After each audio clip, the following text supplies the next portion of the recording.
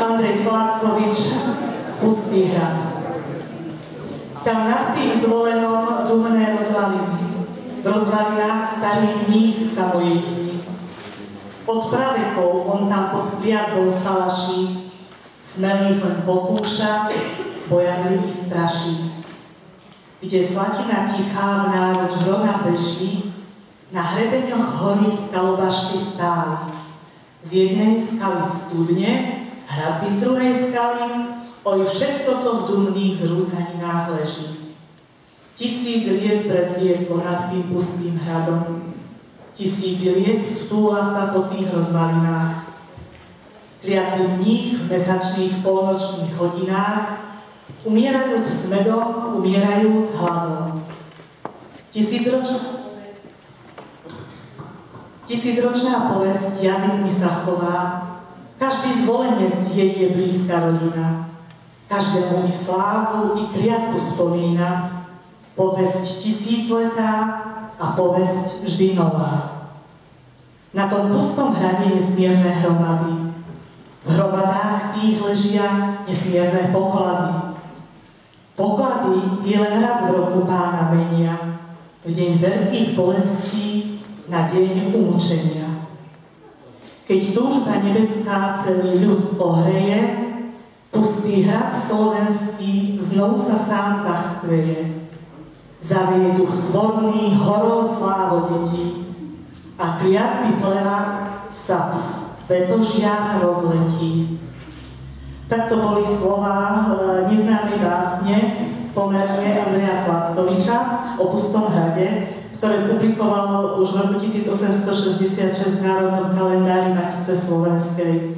Možno mnohí ju poznáte, ja som tu básne veľmi nepoznala. A týmito slovami alebo veršami nášho básnika Andreja Slatovičkoviča som chcela uviesť dnešnú prednášku Výskum z Volenského pustého hradu a ďalších hradov v kraji roku 2013. Taký je názov dnešnej prednášky. A ja medzi nami srdečne vítam našich zácných hostí, ktorých už niektorí vidíte po niekoľkých krát. Sú to pracovníci Archeologického ústavu Slovenskej akadémie vied v Nitre. Je to pán doktor Jan Beriak, PhD.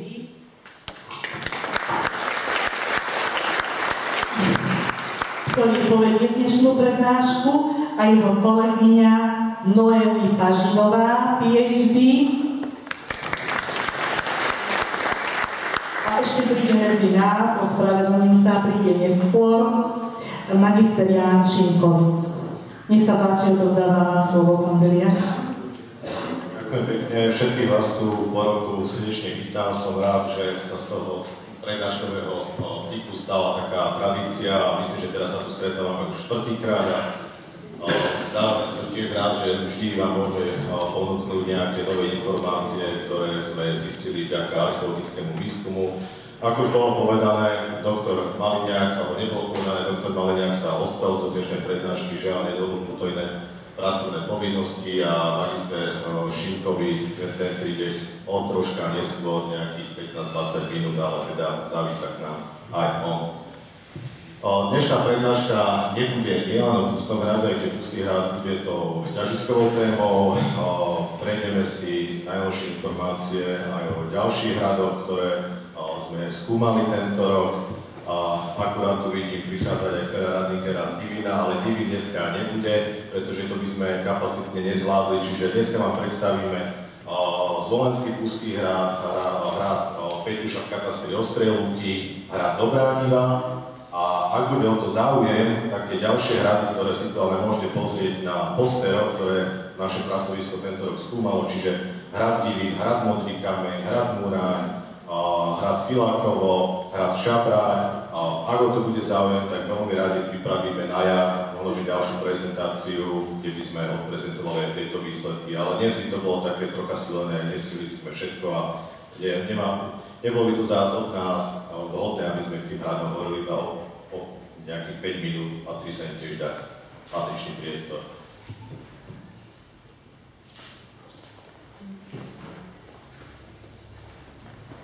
Na začiatok, tak ako každý rok tomu patrí, ďakujem za to, že sme mohli opäť realizovať archeologický výskum, tak samozrejme hlavným donátorom, ako aj prechádzajúci 22 sezón je mesto Zvolen, ktoré od roku 92 financuje jednak archeologický výskum, jednak je konzervačné sanačné práce na hrade. Ďalej je to Vyšehradský fond, ktorý podporuje letnú školu archeológie, Ministerstvo kultúry Slovenskej republiky, kde tento aj spolu s Úradom práce a sociálnej veci a rodiny. Sme sa pilotne zapojili do toho projektu nezamestnaných náhradov pánov, ktorí nám pomáhali náhrade, tu aj srdečne vítam, rovnako tu srdečne vítam dráku študentov, ktorí nám tiež pomáhali náhrade, naozaj tá spolupráca bola vynikajúca, vynikajúca a všetkým patrí ďaká za túto sezónu. A potom ešte dôležitých nesmie zabudnúť bansko samozprávny kraj, ktorý nám tiež prispel a, a naše dve tie hlavné inštitúcie, ktoré sa podielajú na archeologickom výskume, archeologickú ústav Slovenskej akadémie vied a katedra archeológie Univerzity Konštantina Filozofa v Nitre. No a bez práv lesného podniká mesta zvolený, tie právne všetky boli tiež komplikovanejšie, naozaj tiež sú nám vždy nápomocní. Archeologický výskum prebiehal ťažiskovo mesiacov júl, august, september roku 2013, ale už máji sme zase pilotne mali taký projekt s gymnáziom Ludovita Štúra zvolenia ich študenti na týždeň májový jeden pomáhali tiež so začiatkom prác na archeologickom výskume. Tu je taký vyznačný kolektív pracovníkov, ktorí sa primárne zúčastňovali na viedne archeologického výskumu, čiže máme doktorku Pážinovú, doktora Lordovina z Budapešti, kolegu, ktorý okrem iného vynikajúco hovorí po slovensky a veľmi sa s tým spolupracuje a Šimkovica, ktorý teda onedlho príde a potom doktorátov absolventov, a absolventov Nitrianskej katedry archeológie, slečný Juliáková, Kaličáková, kolega Dedná, Rebka a Dedná sa nachádza aj dneska v sále. Na začiatok tradične vždy uvádzame tú lokalizáciu, mnohí to už poznáte, vy čo chodia každoročne na tieto prezentácie, ale pre tých, ktorí sú tu dnes prvý prvýkrát, tak uh, Pustý hrad sa nachádza v juhozápadnej časti katastra mesta Zvolen, uh, skladá sa z hornej a z dolnej časti, uh, je uh, umiestnený nad útokom Hrona a Slatiny. Uh, ďalšie lokality, ktoré uh, budú dneska predstavené, sa nachádzajú nedaleko Pustého hradu. Hradok Peťuša sa nachádza v katastri Ostrej Lúke, Lúky, ale v podstate nedaleko je hranice s katastrom Slovena, nedaleko Červeného Medopíšu, tam tretí rok spolu s katedrou archeológie Univerzity Konštantina Filozofa, ale vlastne naopak, my, oni spolu, my spolupráci s nimi, keďže oni sú tí nosní realizátori výskumu, tiež teda skúmame tajomstva tohto stredovekého neznámeho hradu. A potom tento rok sme pilotne v spolupráci s obcom Podzámčov, ktorý ešte vítam aj pána starostu, realizovali aj dve zisťovacie archeologické sondy na hrade Dobrá Niva. Bol to výskum po viac ako 100 rokov, keďže naposledy sa tam skúmalo okolo roku 1890 pánmi Leškákom a Tomkom, podobne ako tí istí vlastne, ktorí skúmali aj na Pustom hrade. Takmer aktuálna letecká fotografia za apríla tohto roku vidíme polohu Dolného hradu, je to fotené od severu. Vidíte, že na veži, na tej dominantnej stavbe Dolného hradu je už strecha. Zastrešenie teraz získala už aj hlavná vstupná brána Dolného hradu ako také sanačné ochranné opatrenie proti poveternostným vplyvom, ktoré teda jednak pomáha chrániť ten originál muriev, ale na druhej strane bude pomáhať už aj tomu zakonzervovanému murivu, kým prebehne proces karbonizácie vytunutia mála. Pôdory z veže máme zachovaný veže na dolnom hrade toho ťažiskového objektu, ktorý bádáme, ktorý skúmame, ktorý zároveň v spolupráci s mestom Sloven a ďalšími sa snažíme aj zachrániť, odprezentovať, zakonzervovať. Podory z prvý máme zakreslený z roku 1800 89 práve z toho výskumu pánov Leškáka a Tomku, kedy župný zememeráč pán Boroškaj vytvoril plán hradu horného a dolného a ja práve vždy hovorím, všetká čest ich o umeniu a naozaj dokonalosti tých merackých metód nemali dnešné prístroje, ale to, to zameranie neuveriteľne presné, ak si odmyslíme často spojovacieho múru, ktorú už teraz teda exaktne máme dokázanú vďaka výskumu, že neprebieha medzi horným a dolným hradom celej dĺžke, ale iba časti pri dolnom hrade. Ale ak dneska preložíme to aktuálne naše moderné geologické zameranie s touto ich kresbou, týmto plánom, tak sú úplne na vás rovnaké, čiže naozaj všetka čest tomu, ako to presne vedeli zamerať. Tu v pravom hornom rohu sa nachádza kresová rekonštrukcia kolegu Šipkovica a potom na ortofotosnímku sú preložené podorysy horného a dolného hradu a iba tak stručnosti k tomu stavebnému vývoju. Naozaj mnohí to už poznáte z týchto našich prednášok, tak môže tak nás opakovať najstaršia stavba. Na Pustom hrade sa nachádza na hornej časti, je to tzv. väža komitátneho hradu. Tu skúmali prvýkrát pani Leuška Tomka, ale v 90. rokoch, potom ako preskúmal hlavnú vstupnú bránu na hlavnom rade, venoval sa ako druhému objektu na pustom rade doktor Hanujak, tiež srdečne vítam pani Hanujaku, ktorá opäť prišla na našu prednášku a dúfam, že aj ju odvedíme nejakými novými informáciami a ďalšia stavebná, táto stavebná etapa je z poslednej štvrtiny 12. storočia. O niekoľko 10 ročí neskôr vzniká na nižšej polohe, na Dolnom hrade, tá obrovská väža, obytná väža Dolného hradu. Ona je o čosi mladšia, podľa aj tohto ročného výskumu ju vieme datovať niekde do začiatku 13. storočia. Tie veže boli od seba vzdialené dušnou čiarou približne 700 metrov. Následne okolo polovice 13. storočia vzniká tu tzv. veľké opevnenie za panovania kráľa Bela IV. a vtedy vzniká ten obrovský opevnený hradný areál, ktorý teda má rozlohu 4,7 hektára.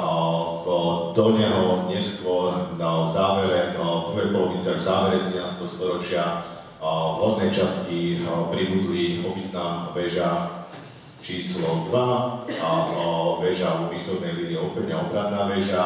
A to sme boli doteraz v romanskom architektonickom slohu. V gotike sa stavebná aktivita presunula predovšetkým do severnej časti Horného hradu, tej tzv. časti, ktorú pracovne nazývame Dončov hrad, kde vzniká rezidenčná stavba Hradný palác a takisto vlastne hospodárske zázemie dielne Úplne takým epilógom, poslednou stavebnou aktivitou na Pustom hrade je prvá polovica 15. storočia, keď počas pobytu istrovských vojsk vznikajú v tomto tzv. Dončovom hrade obytné, obytné budovy, ktoré doplnili dispozíciu nádvoria do hradu, takého pravidelného škodcového pôdorysu. Tu je aktuálny stav, alebo teda takmer aktuálny stav Pustého hradu a o, takto Zvolenský hrad, Pustý hrad je novotvar, používaný až do 19. storočia, o, vyzeral niekedy, niekedy o, v závere 14. storočia. Je to pohľad do tylu, vidíme tu obrovský kolos hradu s tými jednotlivými obytnými väžami, s gotickým jadrom, to tzv. Vlčovho hradu a pozadí vidíme opevnenie dolného hradu, ktoré zabiera plochu 0,7 hektára ktorú strednou hranovou obytnou väžou. Plocha, plošný rozsah výskumu si môžete pozrieť na tomto pôdorise.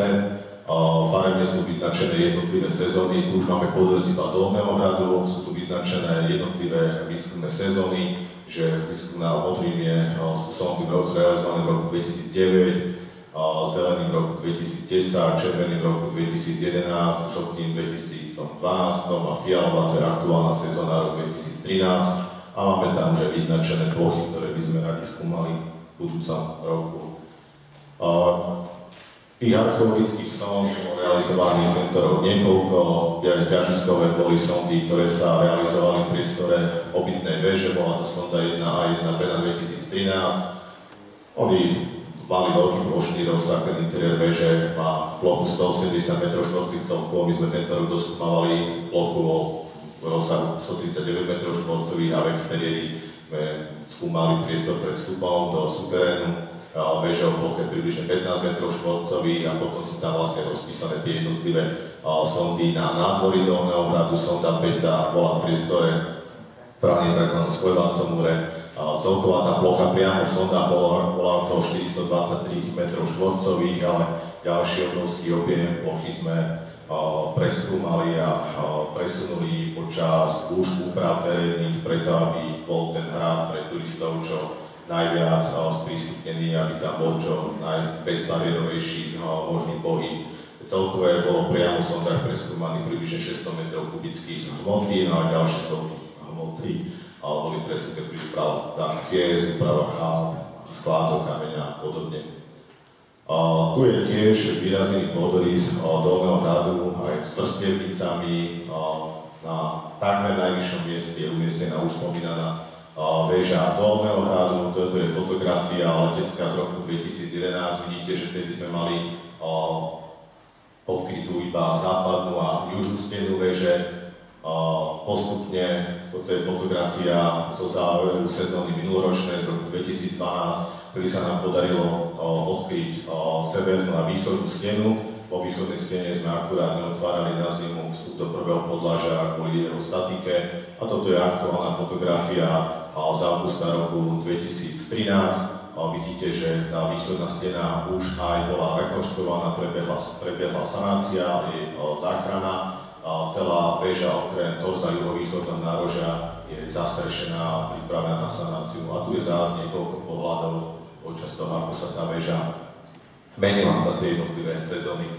To je fotografia zo sanačných prác, ktoré boli realizované, či sanačných, či konzervačných prác, ktoré boli realizované mesiacov júl a august roku 2013.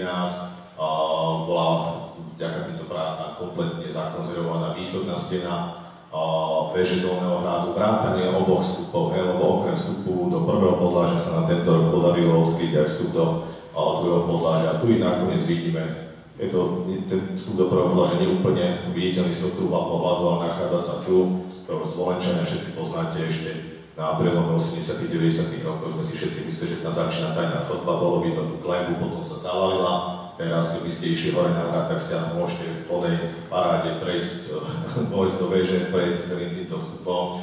A to bol vstup do prvého podlažia, čiže do skladovej časti veže a, a do druhého podlažia, do tej obytnej časti mali vybudovaný samostatný vstup so šírkou priechodu 1,3 metra. V tejto časti nad vstupom do prvého polažia sa zase nachádzalo sedačkové okienko.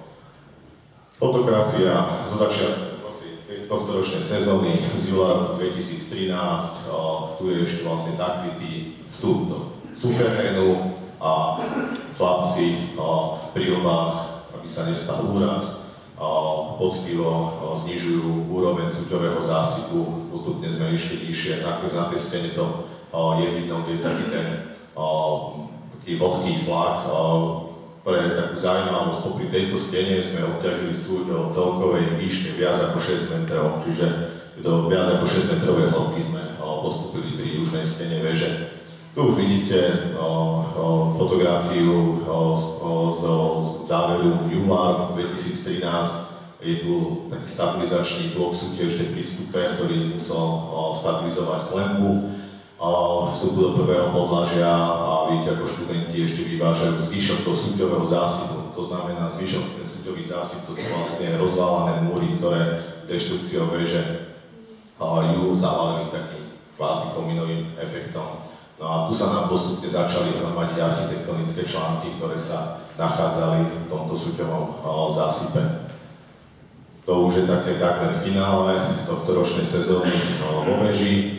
Vidíte tu už interiéry veže, kamenné, pravom úroveň kamenného podložia, čiže už sme na úrovni pod kultúrnou vrstvou, ktorá sa nachádzala pod súťou.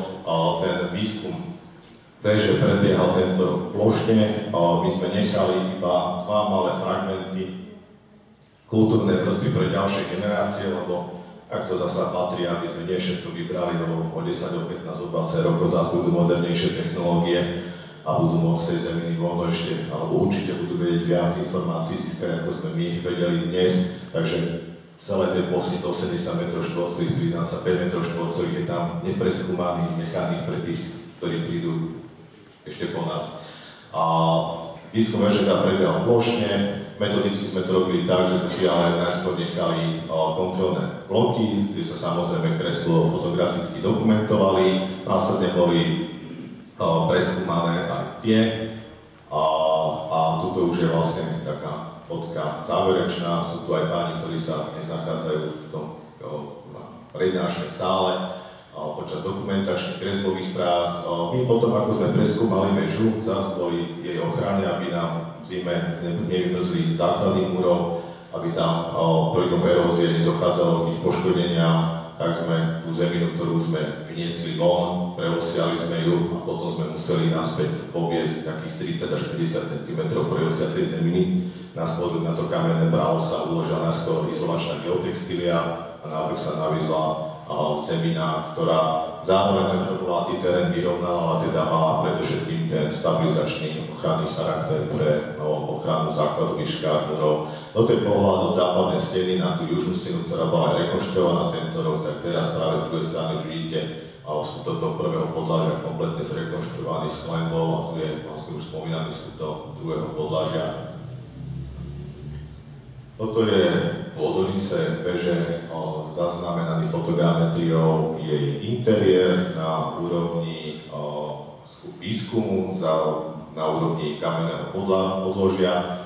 A pre vašu orientáciu, tu je v tejto časti ten vstup do prvého podlažia, toto je východná stena. My sme už minulý rok vedeli, že alebo minulý rok, už keď sme išli do toho výskumu, sme vedeli, že samozrejme tá väža nemohla mať jeden veľký priestor bez toho, aby bola priečne delená, pretože to by ani staticky uh, nezvládli. Tie rozmery interiéru sú 13,3 x 13,3 metra, exteriér má 20 x 20, tak, takmer 20 x 20 metrov, presne 19,8 x 19,9 metra. Vedeli sme, že určite teda buď tam mali murovanú priečku, alebo museli využiť drevo, drevené stĺpy, drevené priečky. A tak aj bolo.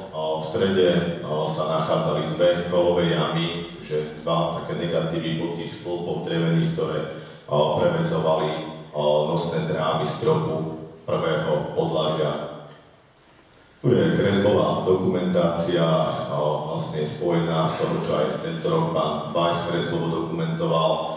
Vidíme tu vlastne zachytené podložie a potom my sme tu takto doplnili, aby sa to odlíšilo farebne tie prechádzajúce sezóny, lebo minulý rok sme mali preskúmaný iba tento severo-východný roh veže a prvý rok, prvýkrát sme sa v interiéri veže dostali do kultúrnej vrstvy sondou 8 roku, teda 2011, tam, tam bola až taká menšia 5x2 metre, ale ona prvá, keďže sa snímali aj dendrodata, aj vzorky, ktoré boli následne radiologikou metodou datované do, do záveru 12. do 13. storočia, tak prvýkrát by sa začali o, presnejšie orientovať v dobe o, vzniku o, tejto obrovskej rezidenčnej stavby. A tento rok sa ale samozrejme tá chronológia spresnila tu máme no, fotografiu, ktorá no, zaznamenáva úroveň dna veže no, z južnej steny, čiže pohľad je to pohľad na sever, vidíme kontrolné bloky. Ja tu mám vlastne týmito číslami označené stratigrafické jednotky, že 5 to je úroveň kultúrnej vrstvy, ale kultúrnej vrstvy už pravekej, keďže samozrejme väža nebola to prvou stavbou na pustom rade a Pustý hrad nebol osídlený iba v stredoveku, ale máme tam potvrdené osídlenie z neskorej doby kamenej, mladšej neskorej doby bronzovej doby latenskej a, a práve pod úrovňou stredovekého založenia veže sa zachovala a, pomerne mohutná vrstva, a,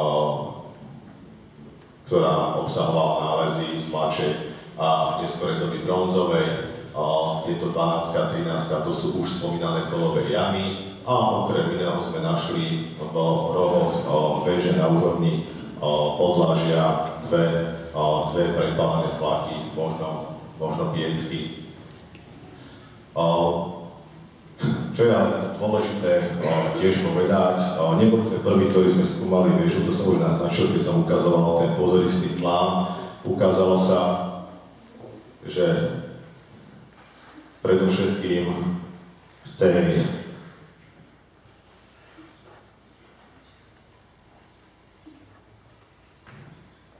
predovšetkým v tej severnej časti sa výskumom v roku 1800, pravdepodobne v roku 1890 pomerne hlboko práve až takmer po úroveň kamenného práva dostali páni Leška a Tomka. Okrem iného to potvrdzujú najmladšie archeologické nálezy, ktoré sme počas tejto, tohto ročnej sezóny objavili ako hlinená fajka s nápisom Šemnis alebo fragmenty sklenených zliaž z 19.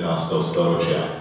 V tejto časti veže, to aj pred výskumom, keď si pamätáte, ako išiel naučný chodník, tam tá, ten súťový zásyp bol najbližší. Tam oni vedeli, že majú najmä, najkračšiu trasu, aby sa dostali k archeologickým nálezom. Tam boli iba 2 až 3 metre zásypu, alebo presnejšie priemerne okolo 3. Pri stenách veže sa už nachádzalo okolo 5-6 metrov zásypu a práve tam, kde to teda mali na tú cestu najkračšiu, tak tam uh, oni už kultúrnu vrstvu zo stredoveku uh, narušili. Najviac archeologických nálezov tých stredovekých sme aj my mali práve tento rok v tejto južnej polovici. A v tej južnej polovici, a presnejšie v juho východnom nároží veže sa nachádzala veľmi dôležitá nálezová situácia. Vidíme tu tie jednotlivé nivelety nadmorskej výšky a práve od, tej výšky okolo 479,7 metra nad morom priamo v súťovom zásype, čiže v tej deštici veže sme objavili prepálené flaky, čiže horizont nejakých požiarových vrstiev a v tejto úrovni sa nachádzala keramika do 14. až 15. storočia, nie staršia. Tá staršia keramika, ktoré bolo ale oveľa viac, početnejšia bola z 13. storočia, tá sa nachádzala tu, ako máme tieto farebné škály vyznačené. No ukazuje to na to, že tá väža zaniká už niekedy v priebehu 14. storočia a už zaniknuté veži ešte vlastne vyvíjali o, tie obyvateľia nejaké aktivity, ale už nemôžeme hovoriť o živote veže ako také. Vítam kolegu Šimkovica, ktorému za chvíľku odoznám slovo. Podobné, podobné návazové situácie sme objavili aj v exteriérovej časti veže pri vstupe do jej suterénu. Tu vidíme taký tmavý zásah, to je vlastne ten pôvodný, taký, taký, taká šachta, taký ten vstup, ktorý, ktorý bol viditeľný ešte 90. rokov minulého storočia a potom sú tu také jednotlivé deštrukčné vrstvy. Tá stredoveká kultúrna úroveň sa nachádza niekde na úrovni 480 478,7 metra nad morom, rodňou bola ešte doložená kultúrna vrstva s nálezmi z doby bronzovej. A k tomu vstupu tu už odoznám slovo kolegovi Šimkovicovi, ktorý je na to povolaný v architektúre viac.